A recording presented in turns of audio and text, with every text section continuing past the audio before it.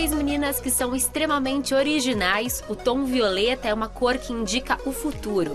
Ele foi escolhido por representar o equilíbrio entre a terra e o céu, a matéria e o espírito. Essa é uma cor positiva, que provoca paz, tranquilidade e transmite autoconfiança. Se você escolher esta cor para colocar nos seus fios, tome cuidado. Hidrate bem as madeixas usando produtos específicos para cabelos coloridos, para que você não ganhe fios quebradiços. Fique ligado para mais informações no mundo da beleza.